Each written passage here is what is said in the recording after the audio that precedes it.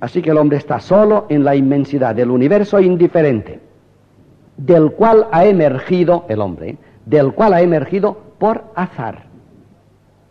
Nadie había programado que nosotros viniéramos. ¿Se dan cuenta de lo que estamos barriendo de un solo golpe? Toda la historia humana, dos millones de años de humanidad y miles de millones de humanos como nosotros, conscientes, todo esto sucedió por azar, dice un Nobel de nuestro tiempo, Jacques Monod, en el azar y la necesidad. Así que el hombre está solo en un universo indiferente del cual ha emergido por azar. Lo de azar es muy importante. Estamos aquí sin programar. Ha sido un capricho que ha aparecido.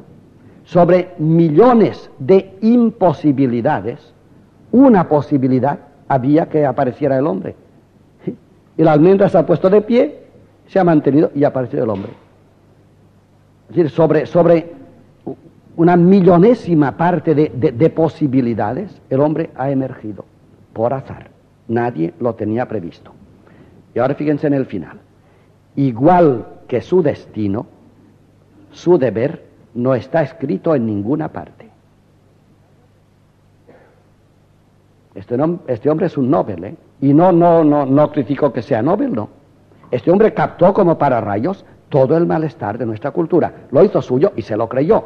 Está convencido de lo que dice.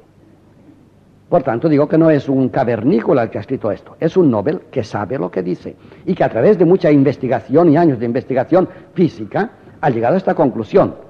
Así que, igual que su destino, su deber el del hombre, igual que su destino, su deber, no está escrito en ninguna parte. En ninguna parte está escrito nuestro destino. Entonces, ¿qué destino tenemos? Cero. Desaparecer. Igual que aparecimos como una burbuja caprichosa, así, desapareceremos un día. No tenemos destino escrito. Nadie se ha preocupado de escribir nuestro destino. No somos nadie. Y por tanto tampoco nuestro deber. No hay moral. ¿Quién se preocupa de que te portes bien o te portes mal? ¿Quién se preocupa? El gobierno, déjalo en paz, el gobierno. Pero por encima del hombre, que el gobierno es el hombre, por encima del hombre, nadie se preocupa de tu deber. Tú haz lo que quieras. Se puede decir más claramente lo desamparado que está el pobre hombre en un universo indiferente, del cual ha emergido por azar, y que su destino, como su deber, no está escrito en ninguna parte. ¿No oyen ustedes una inmensa soledad y una negra noche que envuelve toda la tierra? Ahí estamos. Este hombre ha dicho la situación del hombre que piensa en el siglo XX, a finales del siglo XX. Bueno, pues este es el malestar de la cultura. La segunda parte, en la segunda parte de la lección, veremos otro punto. Vamos a este malestar de la cultura tan magistralmente enunciado por Monod. Quiero decir una vez más que no crean que Monod se ha inventado las expresiones para llamar la atención. Mono pretende ser estrictamente sabio, es decir, estrictamente objetivo, matemáticamente preciso, nada más. De la computadora de los hechos que él maneja, le resulta que el hombre está aquí sin que nadie sepa por qué y sin que nadie haya escrito en ninguna parte su destino. Igual que has aparecido, desapareces tú personalmente y la humanidad, toda filogenética, toda junta, apareció con una burbuja y desaparecerá con el primer viento que que se le antoje soplar sobre nosotros. Malestar de la cultura. Así que hemos llegado a un punto, finales del siglo XX, en el que toda nuestra cultura ha creado un malestar. Y he dicho al principio que este, y he dicho al principio que este malestar hay que acercarlo mucho a los pobres del Evangelio. Es un malestar de pobreza. Somos inmensamente pobres.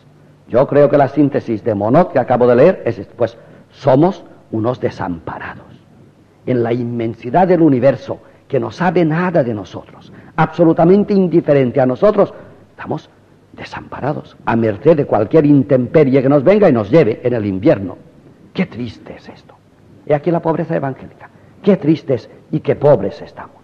Bueno, pues este momento es el momento del desafío. Fíjense cómo viene el desafío ahora. El hombre pudo pensar y pensó cuando en el siglo pasado teníamos el mundo industrial, la industria tan poderosa. La industria se va organizando de tal manera y el futuro se ve tan inmensamente grande que uno puede permitirse arroparse, apoyarse en la cultura y desentenderse de sí mismo y funciona. La cultura le mantiene. Vino después también, a pesar de los noes de antes, el progreso. La idea de progreso es del año 1890 para adelante hasta hoy prácticamente. El progreso. Ustedes saben, en todos los países del mundo tiene una plaza que se llama la Plaza del Progreso. Y uno piensa, si fuera verdad lo de mono, digo, si fuera verdad lo de mono, qué alegría debe haber en el universo, ¿eh? en el alfa de Centauro, si alguien pensase, la Plaza del Progreso en Madrid, progreso, esto progreso. Pero si están ahí no saben de qué ni para qué, progreso.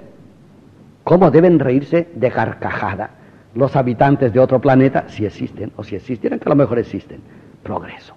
Bueno, pues durante 100 años la humanidad ha creído en el progreso, y en un progreso prácticamente infinito. Y de hecho hemos caminado de progreso en progreso hasta unos inventos, unos adelantos que hoy nos permiten viajar por el universo y tener un, un, telescopio que esté escudriñando las últimas cáscaras de la nuez abierta en el Big Bang.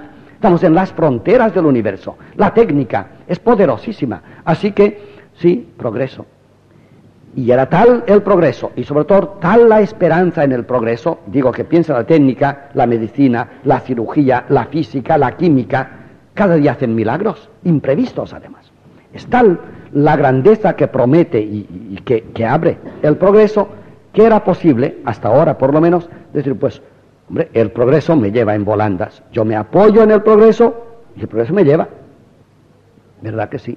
Y esto llevó, ya en el siglo XX, a los estados nodriza, que ahora duran todavía. ¿Qué dicen los estados nodriza? Tú págame, que yo me preocupo de ti. ¿Verdad que sí? Y te preocupan pues de la seguridad, de la, del retiro, de la jubilación, si no recortan mucho. en fin, tú págame que yo me cuido de ti. Y de hecho nos hemos fiado, ¿eh? y el Estado nos da agua, nos da carreteras, nos da bienestar social, nos da seguridad social. Estas palabras ya empiezan, bienestar, seguridad, pero, pero hasta ahora valían, ¿eh? Valían tanto que todavía subsisten los ministerios. Existe el Ministerio de Bienestar Social, a pesar del malestar de la cultura. Y existe el, el Ministerio de la Seguridad Social, a pesar de que todos los jubilados dicen, a mí no me basta ni para, hasta el día 15, ¿eh? pero se llama seguridad. ¿Qué seguridad? Ven cómo todavía perdura algo de lo que estoy diciendo. Hasta hoy, el Estado te decía, tú págame, que yo me preocupo. Y era verdad, prácticamente durante unos años tú pagabas y, te lo daban todo hecho. Y se creaba un mundo especial, el mundo sobre todo de, del Oriente, el mundo comunista. Ya les conté el otro día la sorpresa que tienen en Alemania, me lo contaban mis compañeros, en Alemania hay una inmensa sorpresa. Han abierto las puertas a los del este, a los alemanes del este, después del muro. Y han querido colocarlos en sus empresas porque algunos estaban bien preparados. Pero ahora los alemanes del oeste, los occidentales, están muy a disgusto, malestar de la cultura, con los del este. Porque los del este sí que trabajan. Pero no les puedes dar ninguna iniciativa, no la tienen. El Estado se lo daba todo hecho. Tú haz por lo tanto, no te puedes fiar de ellos. Como maquinitas trabajan perfectamente, pero un imprevisto, una iniciativa, tu programa, tú cuida tu tierra, tú ah, el sábado y el domingo procura. No, eso es inútil. Y además, esto es lo triste, decían los, de los del oeste, es que no quieren. Para ellos es comodísimo hacer su trabajo y nada más. ¿Para qué pensar si lo hace el Estado? Lo hacía papá Stalin, por ejemplo, en Katyn, lo pensó todo muy bien. Entonces se arregla desde arriba. ¿Para qué queremos problemas? Entonces, esto ha generado una generación de gente que, alimentada por el Estado, el Estado nodriza, trabaja, trabaja técnicamente bien, pero no programa, ni quiere programar. Yo cobro para hacer tal cosa, va a poner un tornillo, eternamente. ¿No fías más? Claro, entonces, es una repetición, es el eterno retorno, pero sin progreso ninguno, es un repetir constantemente lo mismo. La iniciativa humana ha sido decapitada por el Estado nodriza. Por eso los estados nodriza que aún duran, por lo menos en parte, está claro, tienen los días contados. Fíjense por dónde. Así que el Estado te decía, tú págame, que yo te llevo. Y peor todavía, también en esta época, y todavía perdura, igual que el Ministerio de Bienestar Social o de Seguridad Social, igual. Las religiones de la tierra, y concretamente la cristiana, te ha dicho, tú sígueme, por ejemplo, sigue a Roma o sigue al cura de tu parroquia, tú sígueme que yo te salvo. Lo peor es que esta última es la más pertinaz de todas las desgracias. ¿eh? El mundo cristiano, yo no quisiera, quisiera equivocarme, pero me figuro que el mundo cristiano en un 80% está ahora en esta tesitura. La iglesia me salva. Y el Papa que diga si hay que confesarse o no. Y ahora cuando venga el catecismo nos dirá si es pecado o no. Y el Papa que diga y el obispo que para eso cobra. Y los curas que yo me dejo salvar. La irresponsabilidad cristiana, es decir, esto es brutal. Los cristianos en religión estamos como los comunistas del Este. Valiente comparación. Sí, sí. Nos han cuidado tanto que no tenemos iniciativa ya. Y es más, y cuando alguien nos dice, oye, pero, pero a ver si te espabilas. Ah, no, no, no. Yo para eso pago los domingos en la bandeja. Y los curas me salvan, ¿eh? A mí que no me molesten. Y vamos repitiendo sacramentos por inercia, misas de domingo sin sentido. Vamos bautizando niños o casando por la iglesia por inercia. Y vamos predicando cosas cristianas por inercia. Es decir, que el, el muro de Berlín ha caído y el Oriente comunista sin iniciativa, es posible que por contacto con Occidente se espabile. Pero por debajo de esta hay una cosa peor y es la situación del mundo cristiano, cuyo muro persiste y cuya falta de iniciativa y cuya entrega total a los jerarcas es el daño y la enfermedad y el malestar de la cultura cristiana actual.